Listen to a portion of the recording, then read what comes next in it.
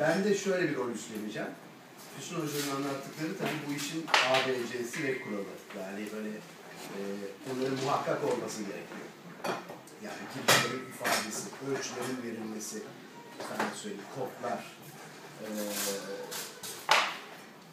analitik çizimler, e, iç dış ayrımlarının bir şekilde e, taramalarla farklı ifadesi. Bütün bunlar e, işin ABC'si. Ben de biraz e, şeye girmek istiyorum. Sunum teknikleri diye diye bir başlık atabiliriz buna. Yani siz derdinizi nasıl anlatırsınız?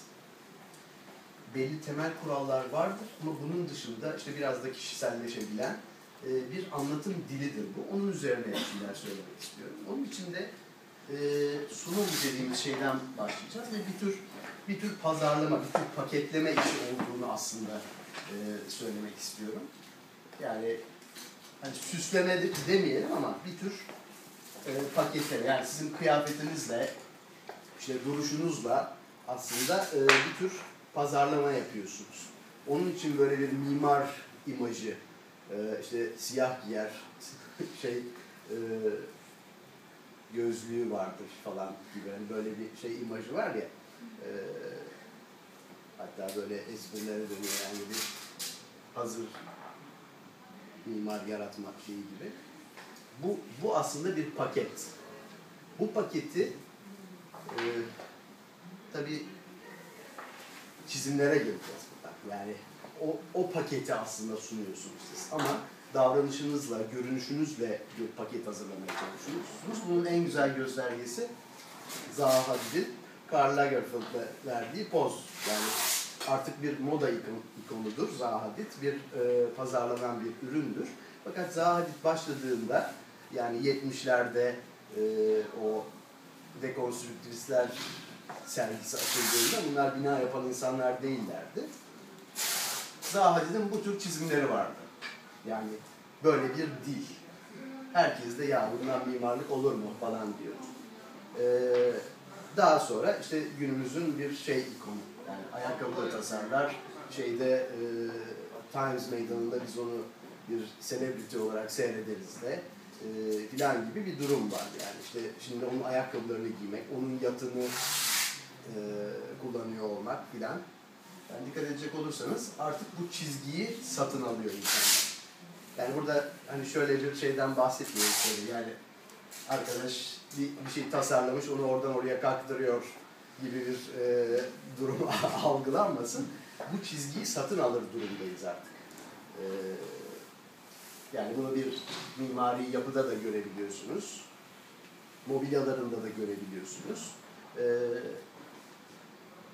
bunlar çok eski çizimlerindendir. Yani bu e, itfaiye istasyonu binasının çizimi. İşte o zamanlar ya bunlar nasıl yapılır bu çizimlerle falan denirdi. Sonra yapıldıktan sonra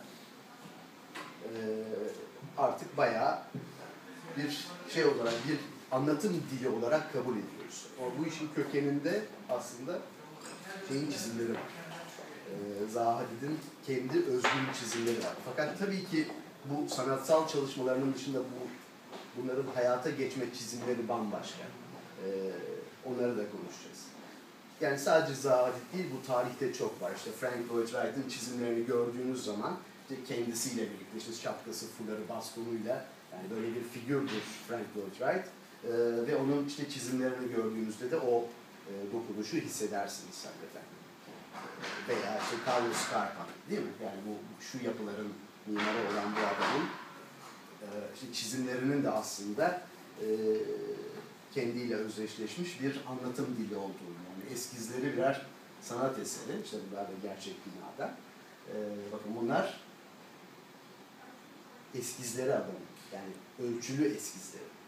Tamam? Bu, buradan sonra imalat çizimlerine geç- geçiyor ama sürekli bir düşünce halinde olduğunu görüyorsunuz. Yani o düşünme sürecini burada hissediyoruz. Yani detayların üretimine bakın.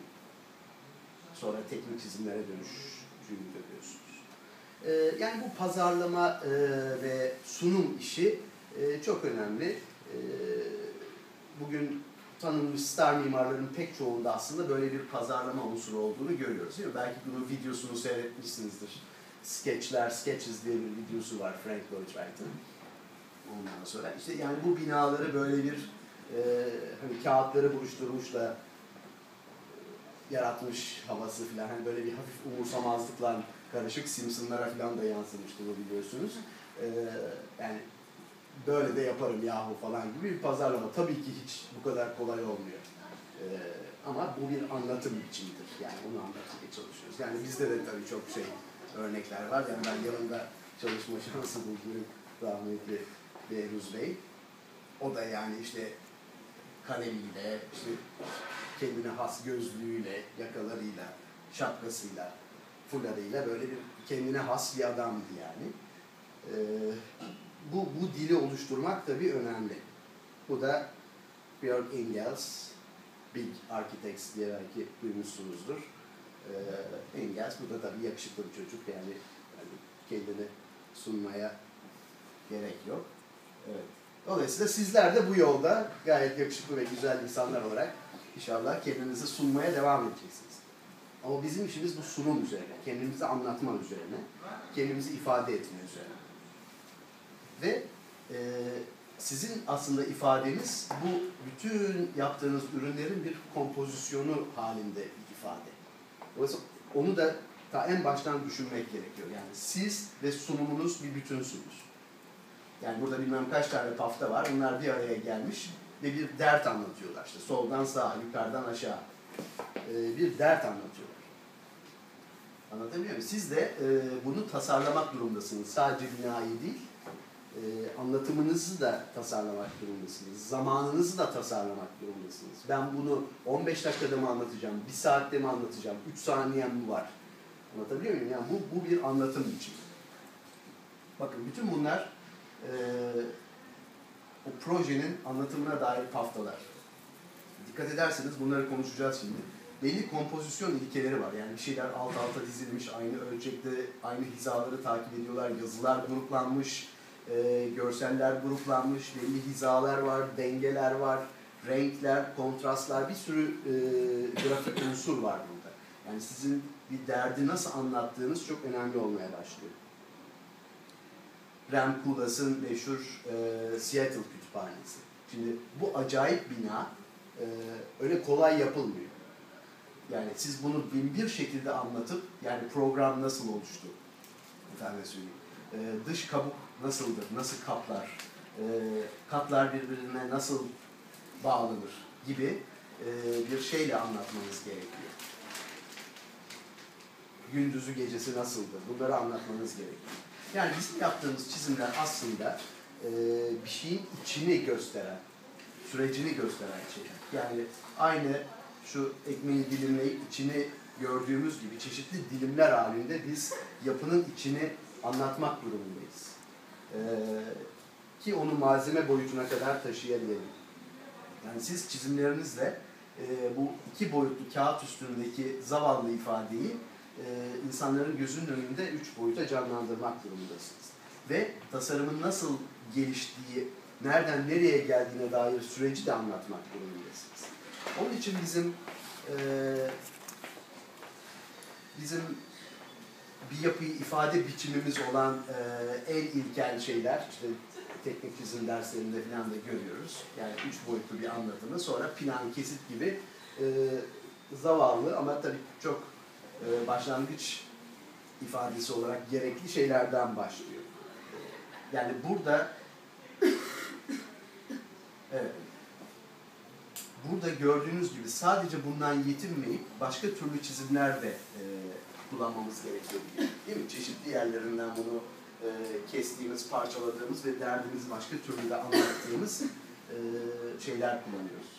Aynı MR çizimleri gibi değil mi? Yani bu en ufak problemi dahi bize e, yakalamamız için bir e, şans veren bir şey. E, dolayısıyla bizim o dilimleme mantığımız değil mi? Çeşitli kes şeylerden, mesafelerden dilimler alarak e, problemleri gördüğümüz bir anlatım biçimi aslında. Yani buradaki dilimleme mantığı da öyle. Onun içindir ki bir binayı birkaç yerinden keserek biz değişik durumları e, anlamaya çalışırız. Onun için sizden kaç kesit lazım hocam deyince böyle sinirlerimiz bozuluyor. Kaç tane gerekiyorsa o kadar lazım. Yani senin derdine bağlı o. Bir derdin yoksa tabii ki minimumunu verirsin. Değil mi? Ee, gibi. Onun için sizlerle işte soyut maketlerden, süngerlerden e, filan başladık. Yani bu hacimsel derdinizi anlatıp oradan bizi başka türlü tekniklerle mesela kolaj sizin çok kullanmanız gereken tekniklerden bir tanesi. Çok başka tekniklerle oradaki yaşantıya dair izleri verecek bir çizgide anlatmanızı istiyoruz. Ee, yani burada tabii bunlar çok daha profesyonel maketler ama hem mekan hissini hem konstrüksiyonu anlatan e, daha analitik maketler, biraz daha müşteriye yönelik yani onların anlayabileceği bu soyut dilden uzak daha gerçeği yansıtmaya çalışan maketlere kadar uzanan bir skalada şeyler sunuyoruz. Yani bu bizim mesela e, bir yurt projesi için yaptığımız önerilerin şeye müşteriye sunulmadan önce dört tane alternatif maketi. Yani alternatifleri bitirerek gidiyorsunuz. Anlatabiliyor muyum? Hani siz de zorlanıyoruz ya bir tane elde edene kadar. Dört taneyi bitiriyoruz hangisini beğendiniz diye gidiyoruz biz müşteriye. Ee, onun için bu maket süreci e, bizim gördüğünüz böyle bir tane iki tane üretilmiyor yani. Tonlarca üretilip kat kat ayrılıp e, çeşitli doku farklılıklarını ifade edecek şekilde ve oldukça soyut bir biçimde e, müşteriye. E, onun için bu maket süreci e, bizim gördüğünüz böyle bir tane iki tane üretilmiyor yani. Tonlarca üretilip kat kat ayrılıp e, çeşitli doku farklılıklarını ifade edecek şekilde ve oldukça soyut bir biçimde e, gördüğünüz gibi yani gerçeği mesela camı belki bir doku farkıyla, işte buradaki malzemeleri bir doku farkıyla ama asla taş resmini oraya yapıştırarak değil var ya hani kiremit taklidi malzemeler, taş taklidi malzemeler e, maketçilerde satılıyor iğrenç iğrenç. Öyle değil çünkü bir şey küçüldüğü zaman molekülleri de küçülüyor. Onun için böyle soyutlamamız gerekiyor değil mi? Burada kırmızı kırmızı kiremitleri yapıştırmamış arkadaş yani. Orada bir başka doku görüyoruz. E, dolayısıyla ha ama tabii bunlar hani olabildiğince tabii e, büyük ölçekli olduğu için biraz daha anlaşılır. Hani olabildiğince gerçeğe yakın ama işte Arap yatırımcılara falan şey yapıldığını hani anlasın adam tondan para döktürüyoruz falan diye. E, bu başka bir anlatım için. Yani kime ne anlattığınız da önemli. Değil mi? Bu biraz daha hani gerçeğe yakın bir şey. Ama çok sevmiyoruz aslında böyle Çin taklitli şeyleri falan filan ama e, müşterinin türüne göre e, kullanılması gereken şeyler. Burada gördüğünüz gibi daha soyut monokromatik malzemelerden yani tek malzeme, tek renk. Bu bizim anlatım dilimize daha yakın bir şey. E, bu tür şeyler yapmaya çalışıyoruz. Ahşap, balsa, plexi. Değil mi? Böyle çok sade ve soyut malzemelerle aslında kendimizi ifade etmeye çalışıyoruz. Ondan sonra işte bu tür e, sergilemelerle e, ne bileyim yani yarın öbür gün sergilerinizi açabilirsiniz, başka sergilerde yer alabilirsiniz ama maketleriniz, çizimlerinizin ışıklandırılmış halleriyle falan bu Big'in bir sergisi. Ee, bir e, toplu dert anlatımı meselesi mümkün. İşte daha yakından bir görünüm. Big Architects'in o meşhur konut sitesi ve arkada projelerinden bir e, derleme.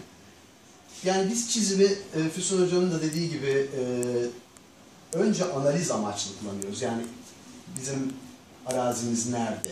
Diğer dokulardan nasıl farklılaşıyor? Etraftaki coğrafi koşullar e, nelerdir? Rüzgar nereden gelir? Güneş nereden gelir? Etrafımdaki e, yapıların yükseklikleri ne kadardır? E, inşai türleri nelerdir? Yani böyle ayrışmalarla problem tespiti yapıp ona göre bir çözüm üretmek üzere daha anlarken çizime başlıyoruz. E, onun için bu e, sizin teknik çizim derslerinde öğrendiğiniz, biz de burada kabaca konuşmuştuk hatırlarsınız işte perspektif, aksonometri falan filan e, o tahtadan bir şey görünümü. E, bu, bu bilgileri e, sizin amaçlarınız doğrultusunda e, kullanmanızı bekliyoruz. Yani bakın burada bir üstten görünüş, yani burada bir kesit durumu yok. Kesilmiş, aynı o e, renkli çizimde gördüğünüz gibi kesilmiş ve plan haline getirilmiş bir kısmı. Burada da kesiti ve gölgelendirmeyi görüyorsunuz. Gördüğünüz gibi burada herhangi bir deformasyon yok. Perspektif deformasyonu yok. Mutlak sonsuzdan bakıyormuş gibi çizilmiş ama bütün ışık koşullarını gölgeleriyle buraya yansıtan, bütün ölçülerin verildiği, dikkat edin, e, kodların verildiği e, hassas detaylı bir çizim. Yani burada vurgulamak istediğimiz şeylerden bir tanesi kontrast seviyesi. Yani sizi böyle göremedik çocuğum falan diyoruz yani şeylerde çizimi, çizgiler silik silik. Yani neyin kalın, neyin ince e, olduğu gayet net. Başka e, çizimlerde de şimdi göreceğiz. Mesela bu.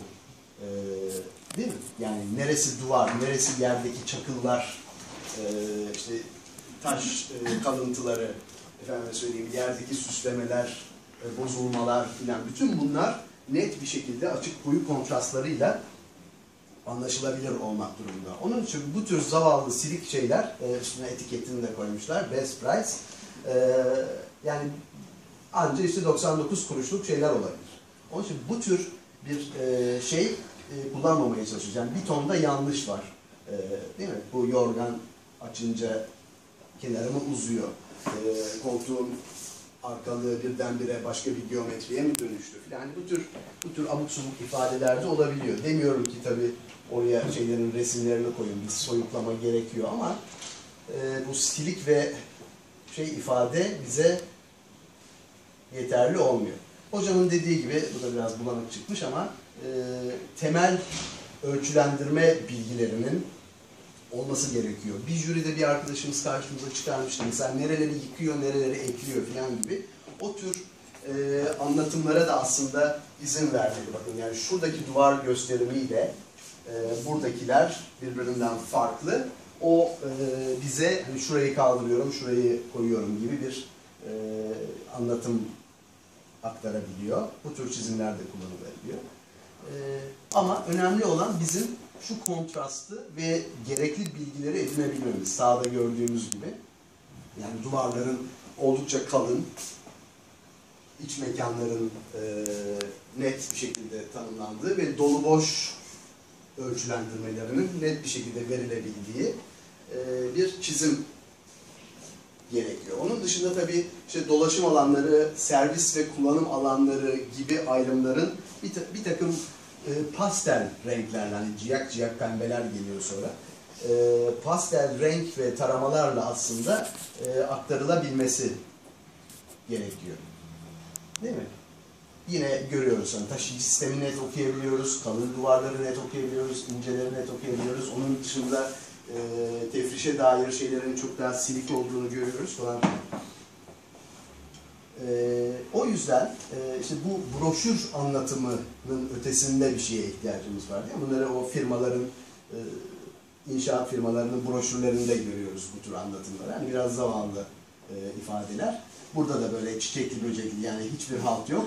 E, ama çiçekli böcekli yatak örtüsü var filan gibi. Hani böyle bir anlatım değil de tüm bilgileri içerebilen bir şeye kavuşmamız gerekiyor. Şimdi burada tabii güzel şeyler de var. Yani şu anlatım, yani bu ne projesidir, ne içindir, neresinden alınmıştır, hangi ölçektedir, hangi tarihte yapılmıştır filan gibi bir bilgi bandını içeriyor olması çok önemli. Kuzeyinin bulunuyor olması çok önemli. Ama e, birkaç arkadaşımızın grafiklerinde de söylediğimiz Photoshop gölgesi dediğimiz bu hani o gölgelendir diye bir komut var ya sanki her şey kalkmış gidiyor uçuyormuşuz havası veren e, ilkel gölgeler yerine başka türlü gölgeler kullanmak gerektiğini biraz sonraki çizimlerde göreceğiz. Yine bir e, broşür anlatımı, ciyak ciyak maviler falan. Değil mi? Böyle böyle bir şey istemiyoruz tabii ki. E, yani bu tabii Peter Eisenman'ın bir şeyi. Burada tabii sanatsal bir şey var ama e, yani mesela gölgelerin kasıtlı olarak koyu çizildiğini ve bu adamın zaten hani farklı e, gridleri üst üste bindirme gibi bir şeyi var. Yani o tasarım fikrini anlatmak üzere bu renk şemasının kullanıldığını görüyoruz. E, ama asıl derdimiz bizim hakikaten şu kontrastı yakalayabilmek. Yani kestiğiniz duvarların, taşıyıcı sistemlerin algılandığı koyu bir anlatım ve zemin farklılaşmalarının daha silik bir şekilde ifade edildiği ama farkları gördüğümüz anlatımlar. Dolayısıyla zemin, duvar, e, işte tefriş, bütün bunların ayrı tonlarda anlatımının olduğunu görüyorsunuz. Ve e, çok ince bir gölge, şurada çok sezilmiyor ama ince bir gölgeyle o derinliği de bir miktar verebiliyoruz. Yine işte ölçüleriyle, inşai akslarıyla, teknik bilgilerinin derlenmiş toplanmışlığıyla, bizim koskoca bir plan içerisinde nereye baktığımızı işaret eden anahtar e, çizimiyle, taşıyıcıların farklılaşmasıyla e, örnek olarak alınabilecek çizimlerden bir tanesi. İşte apartman numaraları, girişleri, e, kodlar, merdiven noktaları işaretleri, mekan numaraları, mekan numaralarının karşılarında adları, metrekareleri falan. Yani böyle bir sistematik bilgiye ihtiyaç var. Dolayısıyla bu çizimler, yani bu, bu dil, işte kuzey işareti falan gibi, e, bu dil sizin belki görsel hafızanıza yer etmesi gereken şeylerden bir tanesi. Yani şu değil de, bu broşür çizimi değil de, yani şurada tabii biraz hani iç mimarlığa yönelik bir e, şey var ama yine çok ilkel olduğunu söyleyebiliriz. Yani bu dokuları bir bölü 20 ölçeğinde bu da dokuları hissetmeye başlayabiliriz. E, ama daha derinleşmesi gerekiyor. Fakat yine işte projenin başlığı, bilgileri, anahtar çizim içerisindeki yerimiz gibi e, bir anlatımı barındırdığını görüyoruz. Vaziyet planları, e, işte gölgenin rolünü görüyorsunuz. Yani çok az bir çizgiyle gölgeyi güçlü bir şekilde kullandığınız zaman bütün o derinlik hissini verebiliyorsunuz. E, yani daha rafine vaziyet planları. Ama pastel tonlara ciyak ciyak bir şey yok. Anlatabiliyor muyum? E, işte mevcut doku ve yeni bina arasındaki ayrışmayı bir şekilde veriyor. İşte temiz bir plan mesela. Şimdi dikkat ederseniz fon koyu, duvarlar açık. Demek ki önemli olan kontrast miktarı. Yani benim duvara okuyabilmem için siyah olması gerekmiyor. Fondan farklılaşması gerekiyor. Ama çok basit gölgeler, bakın Photoshop gölgesi değil bunlar. Böyle bulanık bulanık var ya o iğrenç şey. O değil. Ama biz bütün teknik çizim bilgilerini burada okuyabiliyoruz. Dokuları okuyabiliyoruz. Değil mi? Yani burada böyle bir avlumsu bir şey yaratıldı. Merdivenin bakın çizimi. Değil mi? Yani o teknik dil, Füsun Hoca'nın ifade ettiği o temel kurallar hep var. Onun üstüne bir şey koymaktan bahsediyoruz. Yani şöyle fotoğraflarını görüp bayıldığımız, vay be adamlar yapmış hocam falan e, dediğiniz şeyler işte bu şekillerde ifade ediliyor. Yani bu süreçlerle anlatılıp kabul edildikten sonra çiziliyor. Gördüğünüz gibi net bir şekilde ben neresi iç, neresi dış, neresi kapalı, neresi açık e, görebilmeliyim. Değil mi? Tefriş silik kalabilmeli. E, işte hangi plandayım? Çizgi ölçeğim nasıl? Kuzeyim nereye bakıyor? Kesitler nerelerden alınmış? Mekan isimleri neler? Yani ben temel bilgilere her zaman sahip olmalıyım. Yani biz asla orası ne çocuğum, burası ne çocuğum falan böyle bir şeyle yaşayamayız yani. Değil mi? Bakın yani burada görselleştirmenin artık fotorealistik bir şeye dönüştüğü ama bu kasıtlı olarak hani eskizden buraya doğru gidişini gösteren bir şey. Yani biz böyle başlıyoruz çizime, böyle bitirip insanlara anlatmak durumundayız. Ee, böyle canlanacak diye şey. Ama bunun e, şey anlatımı, temel anlatımı gördüğünüz gibi bu şekilde. Yine duvarların koyu kontrast derecesinin yoğun bir şekilde algılandığı bir çizim. İşte su ögesinin pastel bir tonla, yeşil ögesinin pastel bir tonla ifade edildiği net bir anlatım. Ama bakın temel bütün bilgiler kuzey, çizgi ölçek, kesitler, plan adı, mekan isimleri. Belli. Yani bunlarsız bir çizim çizim değildir yani. Onun için e, yani burada bir takım şeyleri AutoCAD ekranında e, kullanıyorsunuz ama e, onu bu amaçlar doğrultusunda kullanmanızı bekliyoruz ve bu burada tabii detay ifadeleri. Yani şuraya işte ben çizdim hocam böyle karma karışık bir şey orada. Ya bunun şeyi olacak bilmem ne olacak. İşte hepsini çizdim de hocam çıktı da şey yapınca yoğun orası koyu oldu falan. Yani burası böyle çizilir sonra başka bir detayda orası işlenir. Yani her şeyi bir seferde çabucak kolayca halledilecek bir işimiz yok bizim. Tamam böyle emek yoğun bir iş bu. Ne gördüğünüz gibi işte anahtar paftada nereyi çiziyoruz, yönümüz hangisi, başlığımız, işte çizim tarihleri bilmem neler. Yani böyle bir antet bilgisine her zaman ihtiyaç var. Onun için yani bu kuru kuru çizimlerimizi birazcık renklendirecek bir e, dile ihtiyaç var. E, şimdi bunlar tabii plan şeyleriydi daha çok.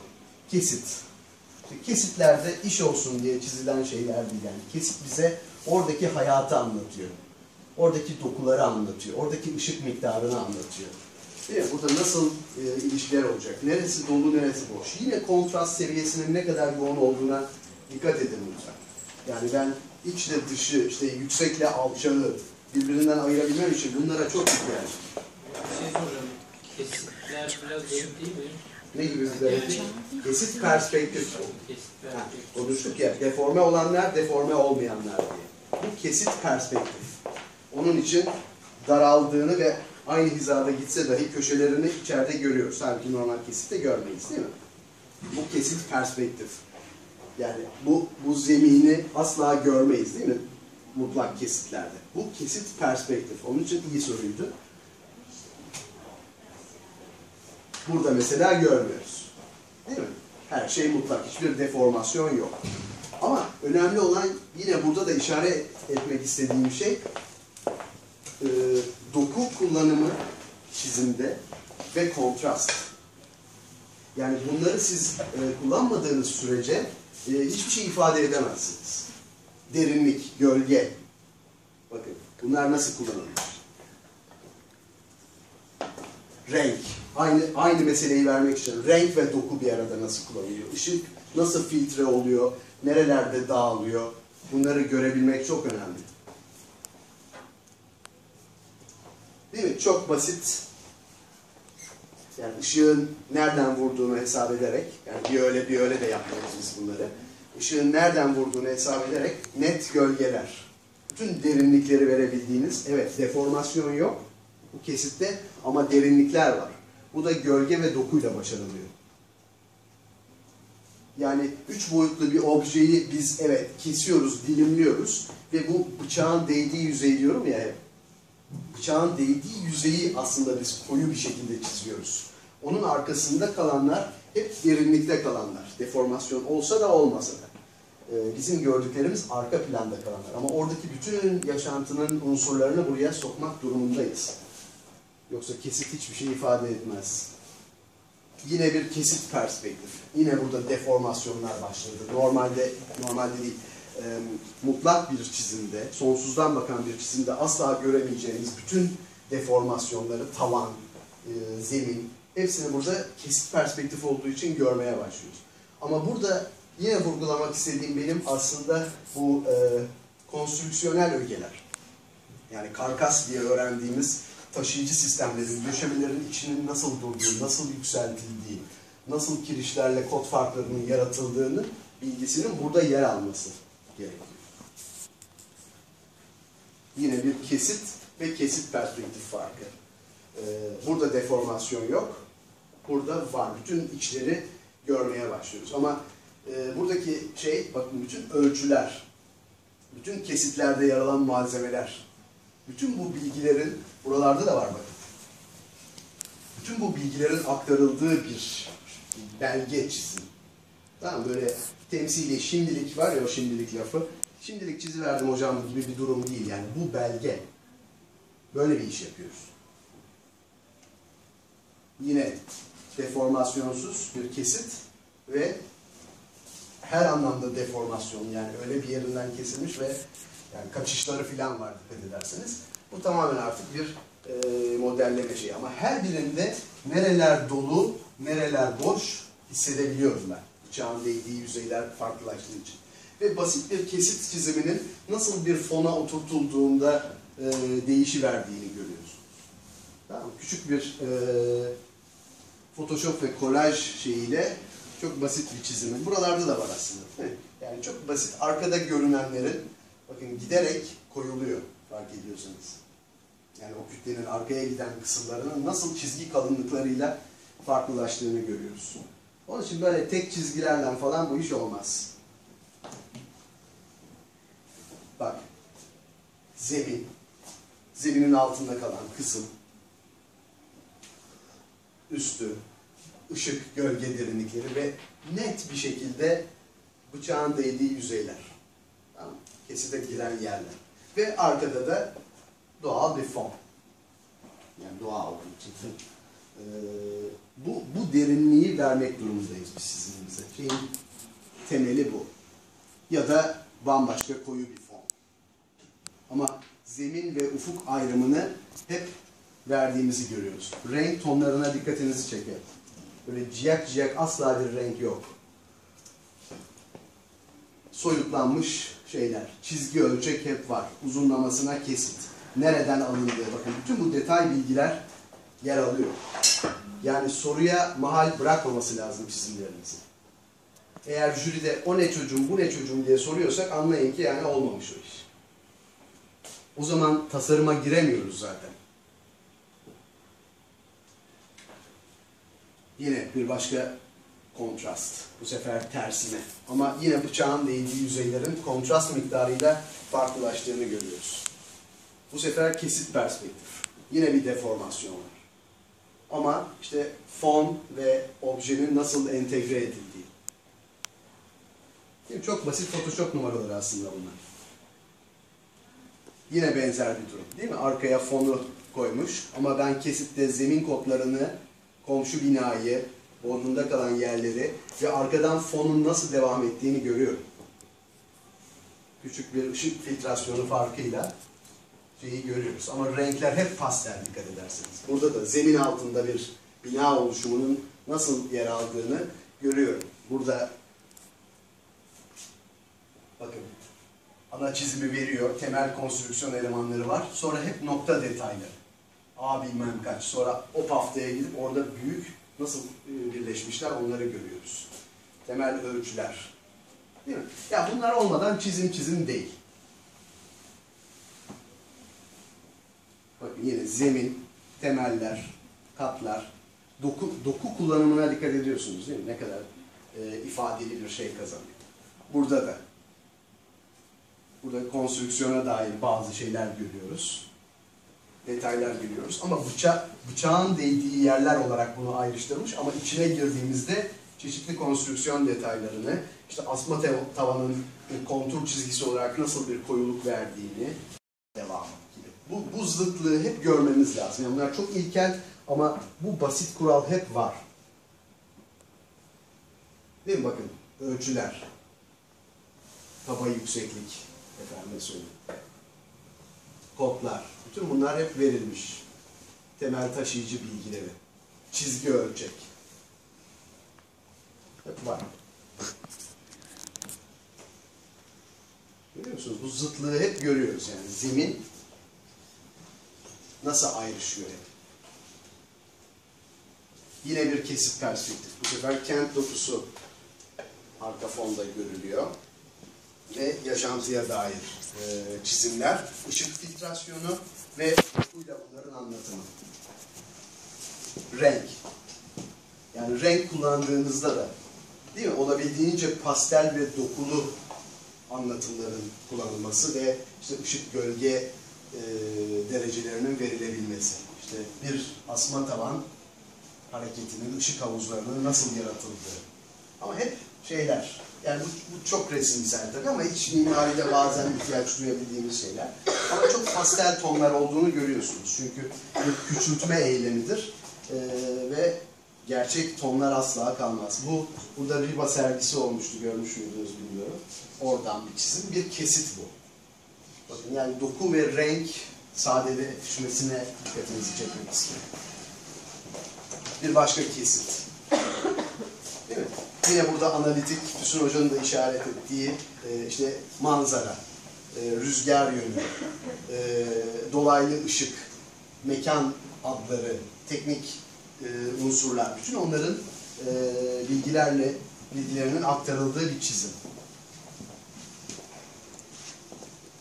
Yine kontrast seviyesi bu sefer bakın e, iç mekanların renklerinin kontrastıyla aslında şey veriliyor.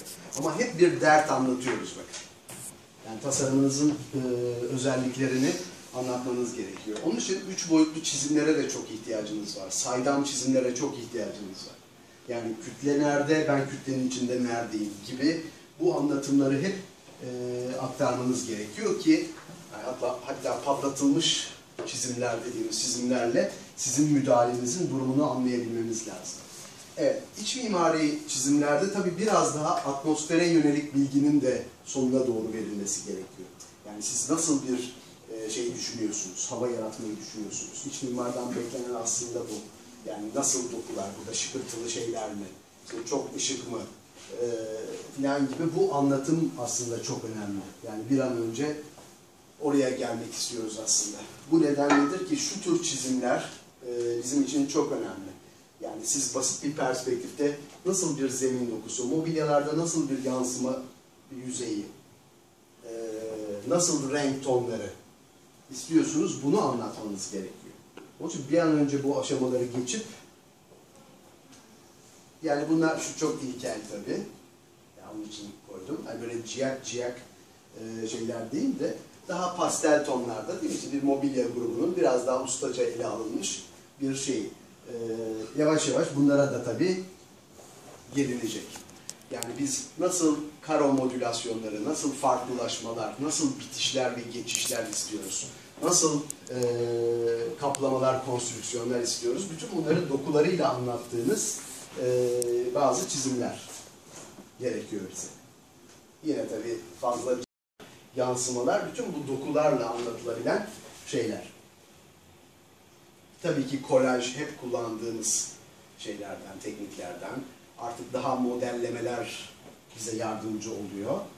Ama e, genel olarak bizim yani şu tür bir e, atmosferi e, karşınızdaki insana aktarmanız gerekiyor. Bu biraz daha yalın, sade bir dil. E, gördüğünüz gibi yine çok basit çizimler üzerine bir takım kolajlarla e, şeyler yakalamak mümkün. Bakın bunlar eskiz aşamaları. Yani çalışırken bak kurşun kalemle çizilivermiş, birazcık boya çalarak üstüne. Yani ben böyle bir şey düşünüyorum.